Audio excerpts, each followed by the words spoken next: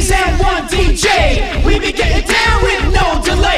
Mixmaster Mike, what you got to say? All right, first up we have the Beastie Boys Hello Nasty LP. Yes. Classic album, late in their career, but very, very dope record.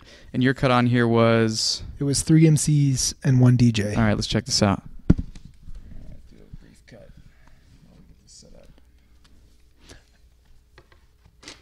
I could be outside playing basketball in the rain and not get wet. Wouldn't that be great? Wouldn't that be great? Wouldn't that be great? Wouldn't That'd be great. Oh, yeah.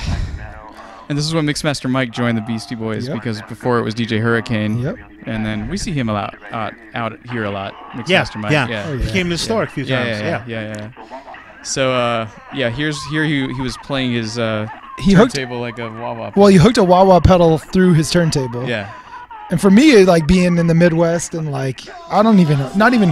Oops. Go for it. So so yeah, Mixmaster Mike, the Invisibl Skratch Piklz, Right. A-Trak, but, uh, but the, just mainly the ISP Invisibl Skratch Piklz and yeah. Mixmaster Mike. They totally changed everything for me. Like Yeah. Wow. I wanted to be a DJ because of Mixmaster Mike. That's great. Beastie Boys just made me want to get into music. These dudes were like they were so ahead of the curve with everything. They they had their own record label, they had merch, they had everything was just so creative and next level and Yeah. like I always just wanted to do that and I try to do that in my career now. Yeah, and they never took themselves too seriously. I mean, Yes. obviously, the, I don't. I still don't know what the hell's going on in this album cover. I mean, They're flying through space in a sardine, sardine can. can. Yeah, Yeah, I mean, yeah. it's just crazy. But Man. but yeah, that's really surprising to hear. Um, you know, you're a big fan of ISP and the, Yes. the turntablism movement. You know, Oh obviously, goodness. we all come from that same school. I think. You know Mhm. what I mean? But Yeah.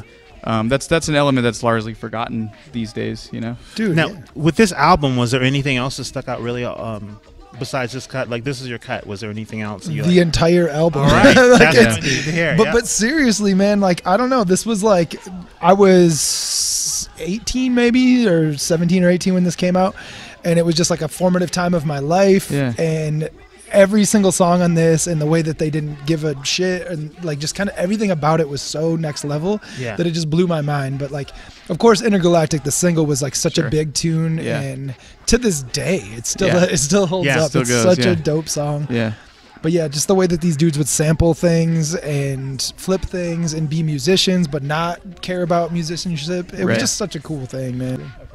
Oh shoot, Yeah, yo!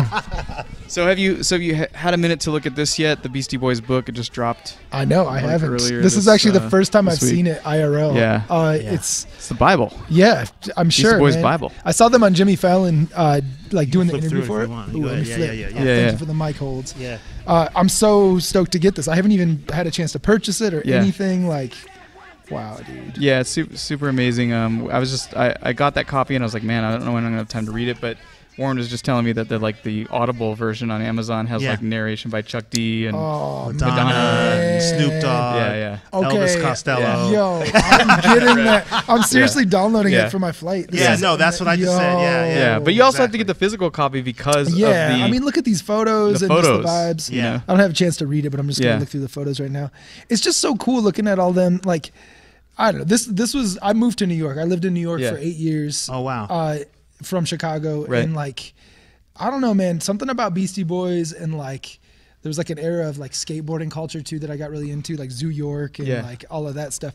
But there was something that happened in New York where there was just like culture was just like New York was the thing that pushed culture forward and art art forward and Yep. all of that.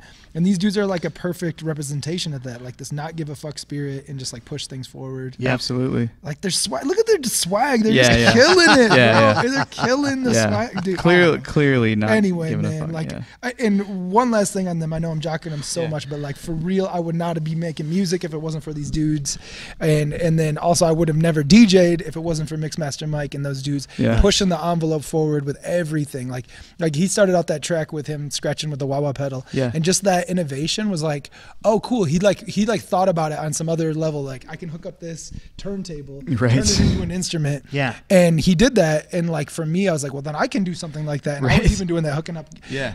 Pedals and stuff. And it's just that's how we push culture forward. Like you get influenced by one person, and then Totally. hopefully I can do something that influences You put your the own spin on it and you move it yeah, forward. exactly, Yeah, exactly, man. yes, And exactly. Yeah, shouts out to all these dudes right here. for Yeah, real. yeah. Word. Beastie Boys. All right, Yes. three MCs and one DJ. Wow.